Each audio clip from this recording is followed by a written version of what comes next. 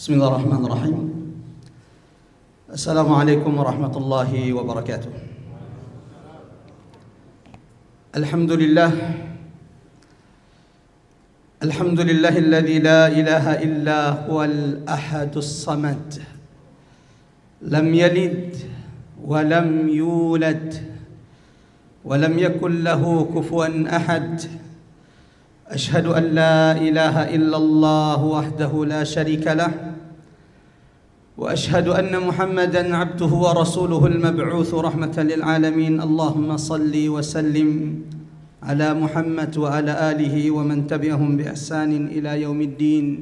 أما بعد إخوة الإيمان عزنا الله وإياكم أجمعين. جماعة صلاة تروي عند رحمته على الله سبحانه وتعالى. Allahu Akbar Di antara rahmat terbesar Allah kepada kita hamba-hambanya. Adalah ketika kita disampaikan kepada bulan Ramadhan Bagaimana tidak para salaf Yad'un Allah Ta'ala Bermunajat, meminta, memohon kepada Allah Sittata ashur Enam bulan sebelum Ramadhan agar mereka disampaikan Allah kepada bulan Ramadhan ini.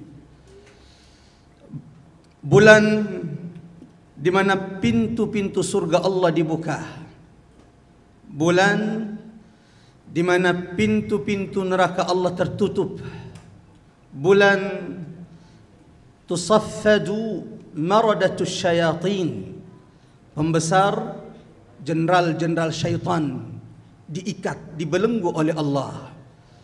Bulan yang di antara keistimewaan bulan ini di setiap malam-malam Ramadan ada hamba-hamba Allah yang dipilih oleh Allah. Diselamatkan dijauhkan dari siksa api neraka Allah Subhanahu wa taala. Dan semoga di malam ketiga ini Allah memilih kita di antara mereka yang Allah jauhkan diselamatkan dari siksa neraka Allah Subhanahu wa taala. Amin. Ya rabbal alamin.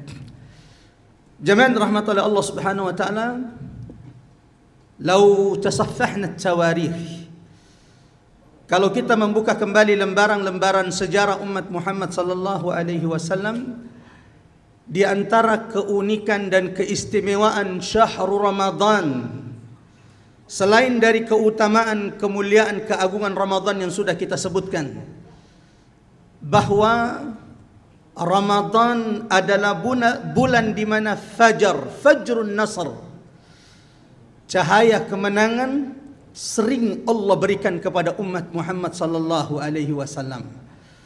Maka sering kita dengar bahawa Ramadan juga sering disebut dengan Syahrul Intisarat. Bulan kemenangan umat Muhammad sallallahu alaihi wasallam. Pada tahun kedua Hijriah, tepatnya 17 Ramadan di sebuah tempat yang bernama Badar, baina Makkah wal Madinah.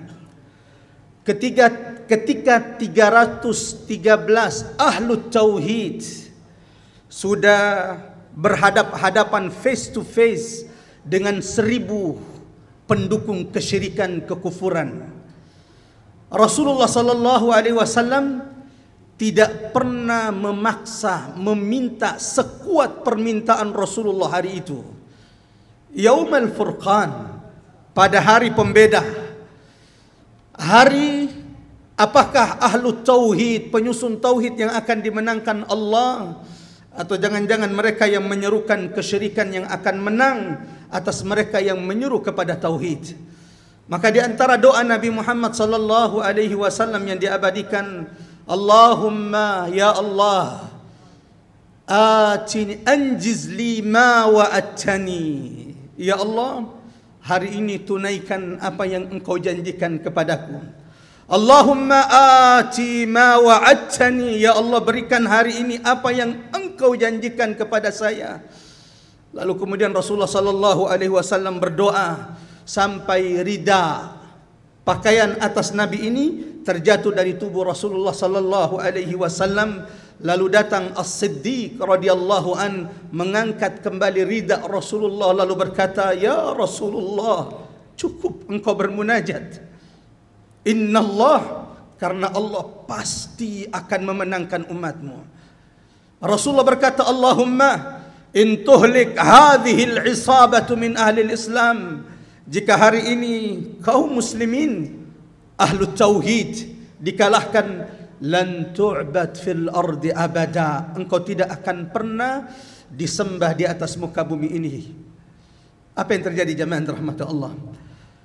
Saat itu pula Allah ijabah doa Nabi Muhammad sallallahu alaihi wasallam dan diabadikan Allah di dalam Al-Qur'an.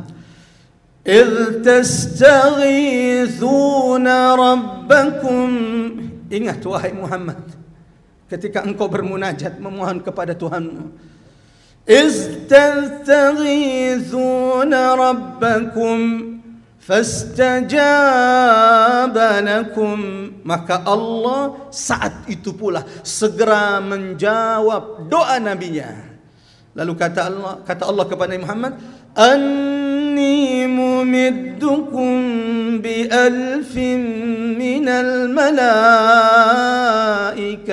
Muhammad Aku sungguh telah memberikan pertolongan kepadamu dengan mengirimkan seribu bala tentara dari malaikat-malaikat Allah murdifin yang turut datang yang turut menurut datang kepada Rasulullah sallallahu alaihi wasallam sampai sahabat-sahabat Rasulullah mendengarkan suara-suara malaikat menggerakkan kuda-kuda mereka. Allahu akbar dan ini di bulan Ramadan. Tak hanya perang Badar, tak hanya Ma'rakatul Furqan, bahkan Fathu Makkah yang dijanjikan Allah di dalam Al-Quran, "Idza jaa nasrullah wal fath, inna fatahna laka fathan mubina." Juga terjadi di bulan Ramadan. Setelah 8 tahun sahabat Rasulullah sallallahu alaihi wasallam terusir dari negeri mereka, di mana Allah Subhanahu wa taala sebelumnya sudah menjanjikan kepada nabinya innalladzi farada 'alaikal qur'an sesungguhnya yang menurunkan Quran kepada Muhammad laradtuka ila ma'ad kelak akan mengembalikanmu kembali ke kota Makkah dan akhirnya setelah 8 tahun Allah Subhanahu wa taala turunkan pertolongannya Rasulullah sallallahu alaihi wasallam membebaskan kota Makkah dan itu di bulan Ramadan.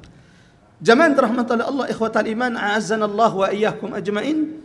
Mungkin ada yang berkata itu kan dulu di masa sahabat-sahabat Rasulullah sallallahu alaihi wasallam Ramadan menjadi syahrul intisar, bulan kemenangan bagi umat Muhammad sallallahu alaihi wasallam. Maka Al-Fakir ingin mengatakan sampai kapanpun ketika umat ini memuliakan Ramadan maka selama itu pula Ramadan akan menjadi fajar kemenangan bagi umat Muhammad sallallahu alaihi wasallam siapapun yang memperhatikan bumi Syam Palestin akhir 2008 bulan Desember sampai awal Januari bulan 2000 eh, tahun 2009 ketika Israel menargetkan 20 hari Gaza end 20 hari Gaza berakhir Sampai kemudian tahun itu saudara-saudara kita di Palestin menamai penyerangan yang terjadi di bulan Ramadan tahun itu juga dengan Ma'rakatul Furqan, perang pembeda. Allahu Akbar. Mereka salah ketika mengira umat Nabi yang tidak makan, tidak minum lalu kemudian menjadi lemah. Ramadan malah sebaliknya akan menguatkan umat Nabi Muhammad setelah 20 hari malah tentara Israel yang mengangkat bendera putih gencatan senjata.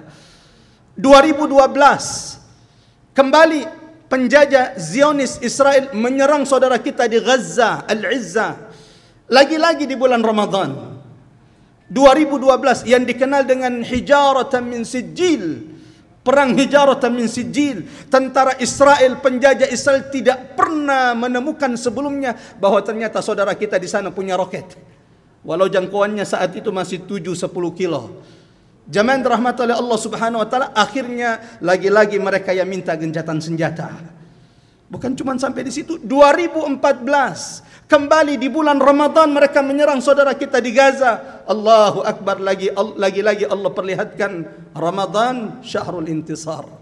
Bulan Ramadan bulan kekuatan umat Nabi Muhammad bulan Ramadan bulan di mana Allah memberikan berita gembira kepada umat Nabi Muhammad sallallahu alaihi wasallam lagi-lagi penjajah Israel yang minta genjatan senjata Allahu akbar Allahu akbar walillahil hamd sampai kapanpun Ramadan akan menjadi syahrul intisar fajar kemenangan bagi umat Nabi Muhammad sallallahu alaihi wasallam dan satu lagi Ramadan adalah bulan di mana Allah juga membinasakan musuh-musuh agama Allah Subhanahu wa taala.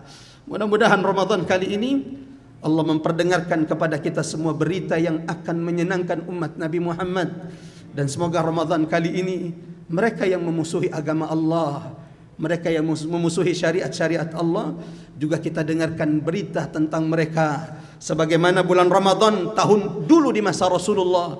Kebinasaan Abu Jahal kebinasaan Abu Lahab, kebinasaan Umayyah ibn Khalaf, kebinasaan Utbah ibn Rabi'ah, kebinasaan Syaibah ibn Rabi'ah di mana Rasulullah kemudian mendatangi mayat-mayat mereka lalu berkata, "Ya Abu Jahal, ya Umayyah, ya Utbah, hal wajadtum ma wa'ada rabbukum?"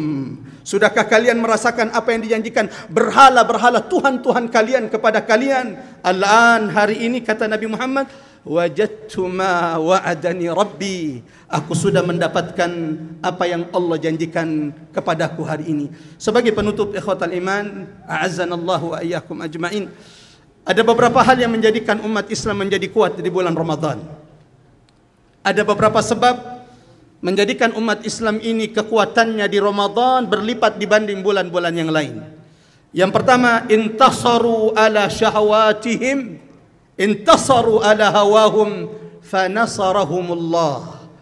Yang pertama bahawa di Ramadan umat Muhammad sallallahu alaihi wasallam kebanyakan di antara mereka berhasil menang atas hawa nafsu mereka berhasil menang atas syahwat mereka maka Allah menangkan mereka di atas musuh-musuh mereka yang kedua di bulan Ramadan umat Islam intasaru ala syayatinil jin di bulan Ramadan umat Nabi Muhammad mengalahkan syaitan-syaitan jin. Maka Allah menangkan mereka di hadapan syaitan-syaitan manusia. Yang ketiga, tidak ada bulan di mana umat Nabi Muhammad lebih dekat dengan Quran melebihi bulan Ramadan dan bukankah Rasulullah sallallahu alaihi wasallam yang pernah bersabda, "Inna Allah sesungguhnya Allah meninggikan mengangkat kaum dengan Quran dan menghinakan yang lain karena mereka meninggalkan Al-Quran. Mudah-mudahan jamaah yang terahmat oleh Allah Subhanahu wa taala, Allah berikan kepadangan kepada umat ini di bulan Ramadan setidaknya kemenangan ketika kita dijauhkan dibebaskan Allah dari siksa neraka Allah Subhanahu wa taala. Di dalam Al-Quran Allah berfirman, "Faman zuhziha 'anil nar" Barang siapa yang Allah selamatkan jauhkan dari siksa neraka Allah. Wa udkhilal jannah. Lalu dimasukkan ke dalam surga. Faqad faz. Sungguh mereka adalah orang-orang yang menang mereka adalah orang-orang yang beruntung. Wa mal hayatud dunya illa mataul ghurur. Wa sallallahu ala muhammad wa ala ali muhammad. Wassalamu alaikum warahmatullahi wabarakatuh